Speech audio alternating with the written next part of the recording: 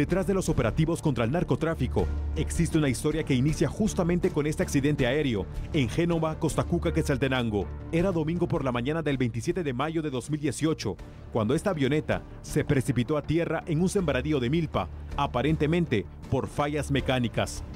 Sus dos ocupantes murieron. Cuando los fiscales del Ministerio Público procesaron la escena, localizaron en el interior del aparato 24 canecas plásticas, 18 galones y 23 litros de aceite. Además, se logró establecer que en la aeronave también había rastros de droga. El Ministerio Público investiga si un grupo de trabajadores de la Dirección General de Aeronáutica Civil permitió que la avioneta accidentada despegara del área privada de los hangares del Círculo Aéreo Guatemalteco sin practicarle ninguna revisión, con una matrícula inexistente y por no reportar que se desvió de la ruta marcada, que era el Story Zaval. Por este caso, cinco empleados de Aeronáutica Civil fueron arrestados.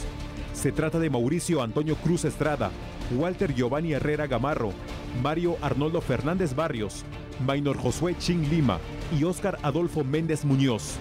Todos son acusados por los delitos de incumplimiento de deberes y atentado contra la seguridad de los transportes marítimo, fluviales o aéreos.